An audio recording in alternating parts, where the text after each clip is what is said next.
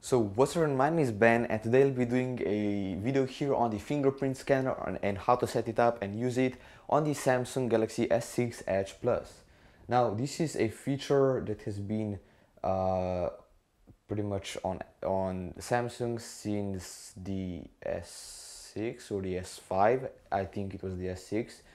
Uh, but yeah, all you have to do, to do is go to settings, lock screen and security, then you go to screen lock type, fingerprints, confirm, place finger on home key. So let's just say uh, that I want to use this finger and it will just start.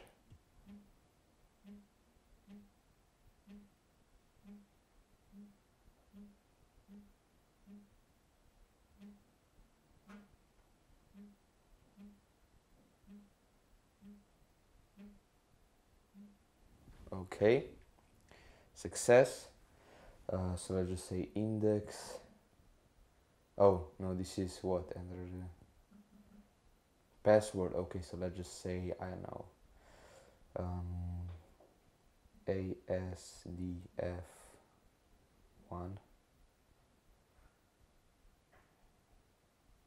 no. ASDFGH1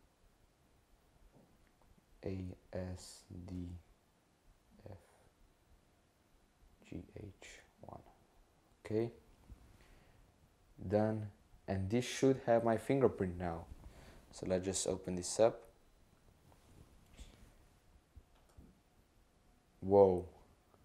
That was really fast. Let me just show you guys this again.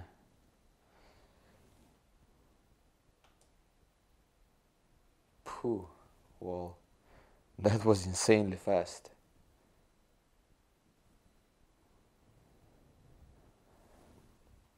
One, one second, exactly one second. I haven't tested that on the iPhone 6s just yet, but this is really fast. So this is definitely a really cool feature, especially on the Go. Go. Uh, so actually, let me just show you up close how, how this actually looks like and works. Um, so yeah here it is. And let me show you.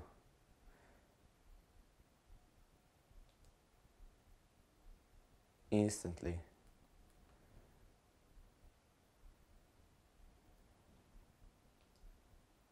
That's insanely fast at least in my opinion.